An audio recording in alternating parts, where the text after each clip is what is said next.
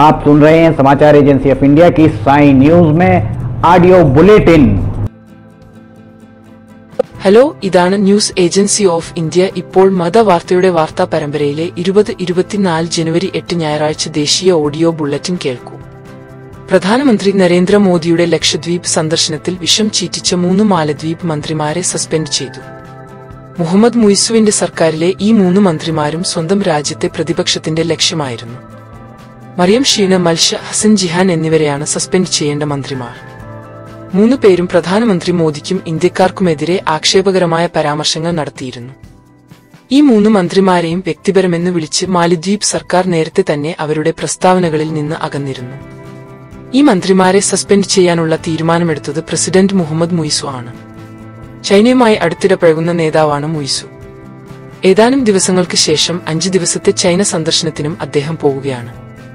രണ്ടായിരത്തി പതിനാലിന് ശേഷം ഏകദേശം ഒരു ദശാബ്ദത്തിനുള്ളിൽ രൂപപ്പെട്ട ഇന്ത്യയിൽ കോൺഗ്രസ് ഭരിക്കുന്ന ഇന്ത്യ പാർട്ടിയുടെ നിലനിൽപ്പ് പോലും അപകടത്തിലാകുന്ന തരത്തിൽ വളരെ പിന്നിലായി.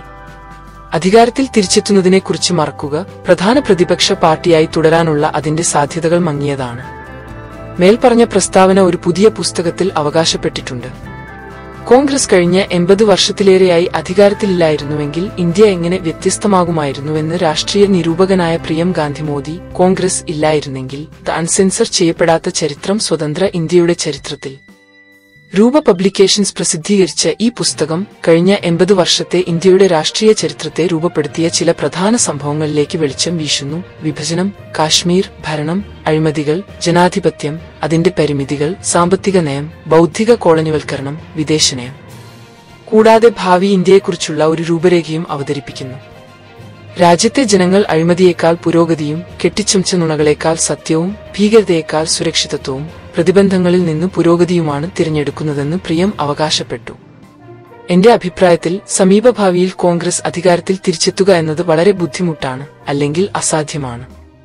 വരുന്ന ലോക്സഭാ തെരഞ്ഞെടുപ്പിൽ ബി ജെ പിയെ ഹാട്രിക് വിജയം നേടുന്നത് തടയാൻ പ്രതിപക്ഷ പാർട്ടികളുടെ ഇന്ത്യൻ സഖ്യം ഒരുക്കങ്ങൾ ശക്തമാക്കി. എന്നിരുന്നാലും സീറ്റ് വിഭജനം സംബന്ധിച്ച് ഇന്ത്യയിലെ ഘടകകക്ഷികൾക്കിടയിൽ ഇതുവരെ പരസ്പര അഭിപ്രായമൊന്നും എത്തിയിട്ടില്ല. അതേസമയം കോൺഗ്രസിന്റെ സീറ്റ് വിഭജനം സംബന്ധിച്ച് ആം ആദ്മി പാർട്ടിയുമായി തിങ്കളാഴ്ച ഉച്ചയ്ക്ക് പന്ത്രണ്ട് മണിക്ക് ചർച്ച നടക്കുമെന്ന് കോൺഗ്രസ് നേതാവ് സൽമാൻ ഖുർഷിദ് പറഞ്ഞു. Aam Aadmi party M P Sandeep Pathak cabinet മന്ത്രി അതിഷി സൌരഭ് ഭരദ്വാജ് എന്നിവർ യോഗത്തിൽ പങ്കെടുക്കുമെന്നാണ് വിവരം. ഇന്ന് മുതൽ മൂന്ന് ദിവസത്തേക്ക് ഡൽഹിയിൽ കോൺഗ്രസ് സഖ്യകക്ഷികളുമായി ആശയവിനിമയം ആരംഭിച്ചു. ഇന്ന് ബീഹാറിലെ നേതാക്കളുടെ ഊഴമാണ്. ഇത് ഇന്ത്യയുടെ വാർത്താ ഏജൻസിയാണ്. നവത ന്യൂസിന്റെ വാർത്താ പരമ്പരയിലെ ഇരുപത് ഇരുപത്തിനാല് ജനുവരി എട്ട് ഞായറാഴ്ച ദേശീയ ഓഡിയോ ബുള്ളറ്റിൻ നിങ്ങൾ കേൾക്കുകയാണ്. വടക്കൻ ഡൽഹിയിൽ കൂട്ടമാനഭംഗത്തിനിരയായ കേസാണ് പുറത്തുവന്നത് ഇവിടെ ഒരു പുരുഷനും പ്രായപൂർത്തിയാകാത്ത മൂന്ന് കുട്ടികളും പന്ത്രണ്ട് വയസ്സുള്ള പെൺകുട്ടിയെ കൂട്ടബലാത്സംഗം ചെയ്തു. ഞെട്ടിപ്പിക്കുന്ന വിവരങ്ങളാണ് പുറത്തു വന്നിരിക്കുന്നത്. പ്രതിയിൽ നിന്ന് പണം വാങ്ങി നിരപരാധിയായ പന്ത്രണ്ട് വയസ്സുകാരിയെ പ്രലോഭിപ്പിച്ച യുവതിയും കേസിൽ ഉൾപ്പെട്ടിട്ടുണ്ടെന്ന് പോലീസ് പറഞ്ഞു. പ്രായപൂർത്തിയാകാത്ത പെൺകുട്ടിയും സ്ത്രീയും പ്രദേശത്ത് മാലിന്യം ശേഖരിക്കുന്ന ജോലി ചെയ്യുന്നുണ്ടെന്ന് ഉദ്യോഗസ്ഥർ പറഞ്ഞു. പ്രതിക്ക് ഒരു ചായക്കടയുണ്ട്. കൂടാതെ പന്ത്രണ്ട് വയസ്സും പതിനാല് വയസ്സും പതിനഞ്ച് വയസ്സും പ്രായമുള്ള മൂന്ന് പ്രായപൂർത്തിയാകാത്തവർ അവനിൽ ജോലി ചെയ്യുന്നു. ഇരുപത് ഇരുപത്തിനാല് ജനുവരി ആറ് ഈ തീയതി ഇന്ത്യയുടെ ചരിത്രത്തിൽ എന്നും ഓർമ്മിക്കപ്പെടും. അതേ ദിവസം ഏകദേശം നാല് മണിക്ക് ഇന്ത്യയുടെ ആദ്യത്തെ സൺമിഷൻ ആദിത്യ എൽവൻ അതിന്റെ ലക്ഷ്യത്തിലെത്തുന്നതിൽ വിജയിച്ചു. ഇന്ത്യൻ ബഹിരാകാശ ഏജൻസിയായ S R O Aditya L വണ്ണിന് കമാൻഡ് നൽകി ലാംഗ്രസ് പോയിന്റ് ഒന്നിന്റെ ഹാലോ ഓർബിറ്റിലേക്ക് അയച്ച് ചരിത്രം സൃഷ്ടിച്ചു. അതായത് ആദിത്യൽ ഒന്ന് ബഹിരാകാശത്ത് സൂര്യനെ തുടർച്ചയായി കാണാൻ കഴിയുന്ന സ്ഥലത്ത് എത്തിയിരിക്കുന്നു. ഈ ദൗത്യം ഇരുപത് ഇരുപത്തിമൂന്ന് സെപ്റ്റംബർ രണ്ടിന് ആരംഭിച്ചു. ആന്ധ്രാപ്രദേശിലെ ശ്രീഹരിക്കോട്ടയിൽ നിന്ന് സൂര്യ ബഹിരാകാശ പേടകം ആദിത്യയിൽ ഒന്ന് വിക്ഷേപിച്ചപ്പോൾ. കഴിഞ്ഞ ശനിയാഴ്ച നാല് മാസത്തിനു ശേഷം ഈ ബഹിരാകാശ പേടകം അതിന്റെ അവസാനവും വളരെ സങ്കീർണവുമായ പ്രക്രിയയിലൂടെ കടന്നുപോയി. ബംഗളൂരുവിൽ മെട്രോയിൽ യാത്ര ചെയ്യുകയായിരുന്ന പെൺകുട്ടിയെ പീഡിപ്പിച്ച സംഭവം പുറത്തായി. താൻ യാത്ര ചെയ്തിരുന്ന മെട്രോയിൽ തിരക്ക് കൂടുതലായിരുന്നുവെന്ന് ഇരുപത്തിമൂന്നുകാരിയായ പെൺകുട്ടിയെ ആരോപിച്ചു. ഇതിനിടെ ഒരാൾ അവളെ അനുചിതമായി സ്പർശിച്ചു. മജസ്റ്റിക് മെട്രോ സ്റ്റേഷനിലാണ് സംഭവം. തിരക്കേറിയ മെട്രോ ട്രെയിനിൽ സഞ്ചരിക്കുമ്പോൾ ജബി നഗർ മെട്രോ സ്റ്റേഷനിൽ നിന്ന് ഒരാൾ ട്രെയിനിൽ കയറുകയായിരുന്നുവെന്ന് അധ്യാപികയായ പെൺകുട്ടി പരാതിയിൽ പറയുന്നു. വിജയനഗറിലേക്ക് പോവുകയായിരുന്നു. അയാൾ അവളെ അനുചിതമായി സ്പർശിച്ചു. ഇതിനുശേഷം മെട്രോയിൽ നിന്ന് ഇറങ്ങിയ ഉടൻ പെൺകുട്ടി മെട്രോ ജീവനക്കാരോട് ഇക്കാര്യം പരാതിപ്പെട്ടു. ഇതിന്റെ അടിസ്ഥാനത്തിലാണ് പ്രതിയെ കസ്റ്റഡിയിലെടുത്തത്. പ്രധാനമന്ത്രി ഭാരതീയ ജൻ ഔഷധി കേന്ദ്ര എന്ന നിലയിൽ primary agricultural credit society general കോൺഫറൻസിൽ നാളെ ന്യൂഡൽഹിയിലെ വിജ്ഞാൻ ഭവനിൽ കേന്ദ്ര ആഭ്യന്തര സഹകരണ മന്ത്രി അമിത് ഷാ അധ്യക്ഷത വഹിക്കും. ദേശീയ സഹകരണ വികസന കോർപ്പറേഷനുമായി സഹകരിച്ചാണ് സഹകരണ മന്ത്രാലയം ഈ സമ്മേളനം സംഘടിപ്പിക്കുന്നത്. പ്രധാനമന്ത്രി ജൻ ഔഷധി സമ്മേളനത്തിൽ എല്ലാ സംസ്ഥാനങ്ങളിലെയും കേന്ദ്രഭരണ പ്രദേശങ്ങളിലെയും സഹകരണ വകുപ്പുകളുടെ സെക്രട്ടറിമാർ പ്രിൻസിപ്പൽ സെക്രട്ടറിമാർ സെക്രട്ടറിമാർ സഹകരണ സംഘങ്ങളുടെ രജിസ്ട്രാർമാർ പ്രൈമറി അഗ്രികൾച്ചറൽ ക്രെഡിറ്റ് സൊസൈറ്റികളുടെ ചെയർമാൻ സെക്രട്ടറിമാർ ഫാർമസിസ്റ്റ് എന്നിവരും പ്രധാനമന്ത്രി ജൻ ഔഷധി സമ്മേളനത്തിൽ പങ്കെടുത്തു. ആയിരിക്കും പൊതുവിപണിയിൽ ലഭ്യമാകുന്ന ബ്രാൻഡഡ് മരുന്നുകളേക്കാൾ അൻപത് മുതൽ തൊണ്ണൂറ് ശതമാനം വരെ വിലക്കുറവിൽ ഗുണനിലവാരമുള്ള ജനറിക് മരുന്നുകൾ പ്രധാനമന്ത്രി ജൻ ഔഷധി കേന്ദ്രം പൊതുജനങ്ങൾക്ക് നൽകുന്നു. രണ്ടായിരത്തിലധികം ജനറിക് മരുന്നുകളും മുന്നൂറോളം ശസ്ത്രക്രിയാ സാമഗ്രികളും ഈ കേന്ദ്രങ്ങളിൽ നിന്ന് മിതമായ നിരക്കിൽ ലഭ്യമാക്കിയിട്ടുണ്ട്. ഈ സംരംഭം പ്രാഥമിക കാർഷിക വായ്പാ സംഘങ്ങൾക്ക് അവരുടെ സാമ്പത്തിക പ്രവർത്തനങ്ങളുടെ വൈവിധ്യവൽക്കരണത്തിനും വിപുലീകരണത്തിനും പുതിയ അവസരങ്ങൾ നൽകുകയും അവരുമായി ബന്ധപ്പെട്ട ദശലക്ഷക്കണക്കിന് ചെറുകിട നാമമാത്ര കർഷകരുടെ വരുമാനം വർദ്ധിപ്പിക്കുകയും ചെയ്യും. ഗ്രാമപ്രദേശങ്ങളിൽ പുതിയ തൊഴിലവസരങ്ങൾ സൃഷ്ടിക്കുന്നതിനും ഇത് സഹായിക്കും. മുൻ രാഷ്ട്രപതി രാംനാഥ് കോവിന്ദിന്റെ അധ്യക്ഷതയിൽ രൂപീകരിച്ച സമിതി ഒരു രാജ്യം ഒരു തിരഞ്ഞെടുപ്പ് എന്ന വിഷയത്തിൽ ജനങ്ങളിൽ നിന്ന് നിർദ്ദേശങ്ങൾ തേടിയിട്ടുണ്ട്. രാജ്യത്ത് ഒരേ സമയം തിരഞ്ഞെടുപ്പ് നടത്തുന്നതിനുള്ള നിലവിലെ നിയമപരമായ ഭരണഘടന മെച്ചപ്പെടുത്തുന്നതിന് ജനുവരി പതിനഞ്ച് വരെ നിർദ്ദേശങ്ങൾ അയക്കാം. കഴിഞ്ഞ വർഷം സെപ്റ്റംബറിൽ രൂപീകരിച്ച സമിതിയുടെ രണ്ട് യോഗങ്ങൾ നടന്നു.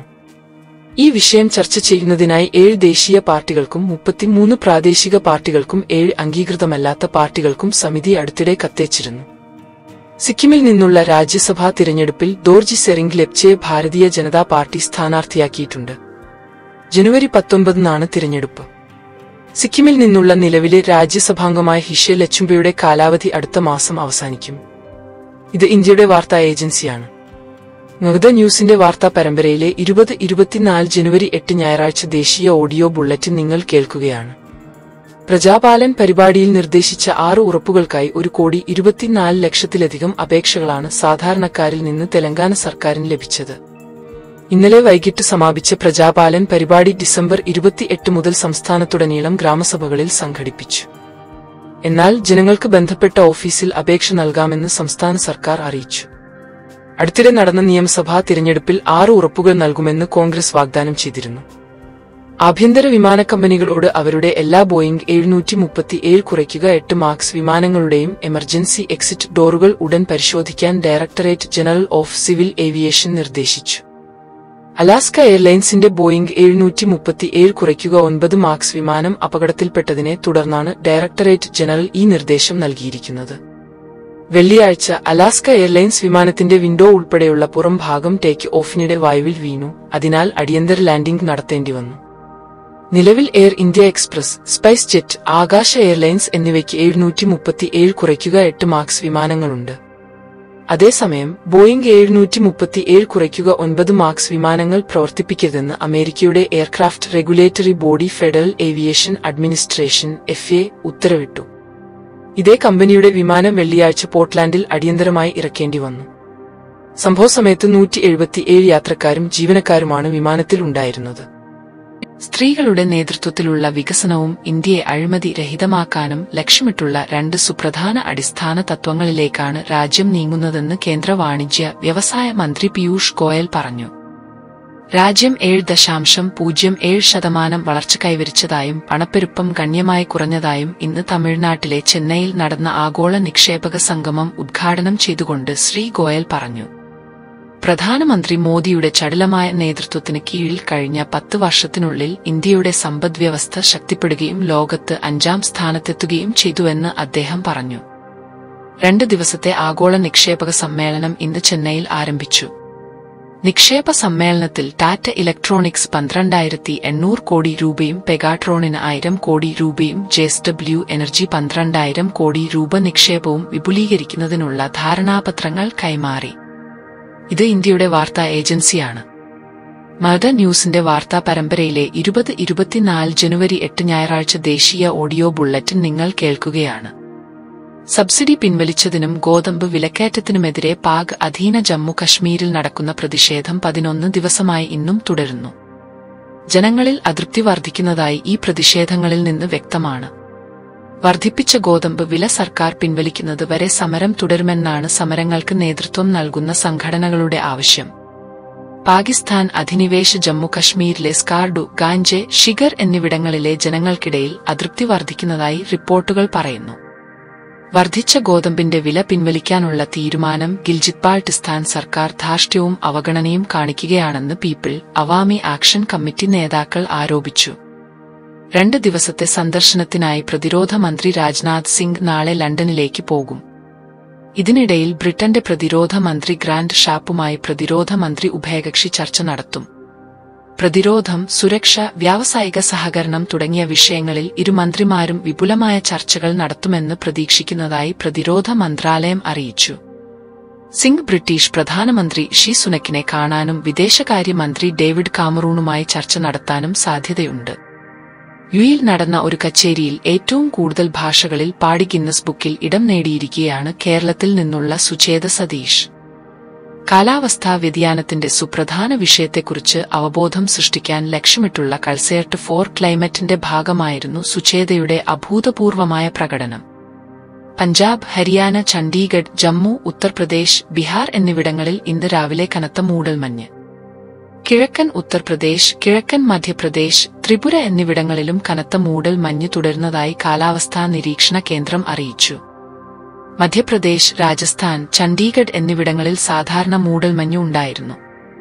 കനത്ത മൂടൽമഞ്ഞ് കാരണം ഡൽഹിയിലേക്ക് വരുന്ന ഇരുപത്തിരണ്ട് ട്രെയിനുകൾ വൈകി ഓടുന്നതായി നോർത്തേൺ റെയിൽവേ അറിയിച്ചു. രാജ്യതലസ്ഥാനമായ ഡൽഹിയിലെ കൊടും തണുപ്പ് കണക്കിലെടുത്ത് നഴ്സറി മുതൽ അഞ്ചാം ക്ലാസ് വരെയുള്ള എല്ലാ സ്കൂളുകൾക്കും അടുത്ത അഞ്ച് ദിവസത്തേക്ക് അവധിയായിരിക്കും. ഡൽഹി വിദ്യാഭ്യാസ മന്ത്രി അതിഷി സോഷ്യൽ മീഡിയ പോസ്റ്റിലൂടെയാണ് ഇക്കാര്യം അറിയിച്ചത്.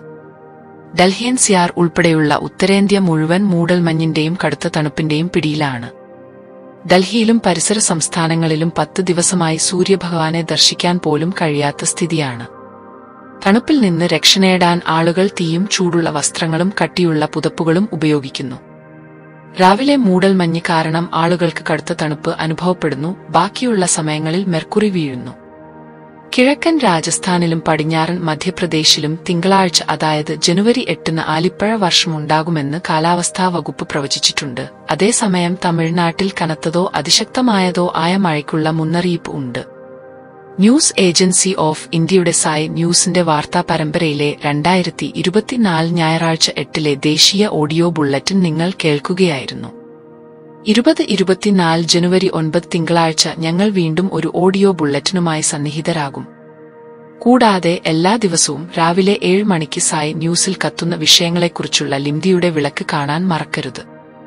നിങ്ങൾക്ക് ഈ ഓഡിയോ ബുള്ളറ്റിനുകൾ ഇഷ്ടമായെങ്കിൽ ദയവായി ലൈക്ക് ചെയ്യുക പങ്കിടുക സബ്സ്ക്രൈബ് ചെയ്യുക. ഇനി നമുക്ക് നിങ്ങളിൽ നിന്ന് അനുവാദം വാങ്ങാം. ജയ് ഹിന്ദ്.